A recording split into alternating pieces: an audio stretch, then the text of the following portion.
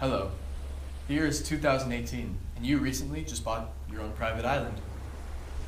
You're reminiscing about the good old days with your supermodel wife, when suddenly you can't seem to remember that one goofy kid's name.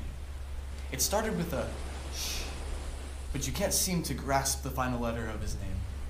Maybe it was Shaw or Shu. Who knows? You won't. Until his name pops up on your suggested friends list on Facebook, years later. By then, he could be a billionaire, playboy, baseball star, or running for president in some country. Oh, and he bought your private island. All because he could remember his high school memories. Don't be a loser.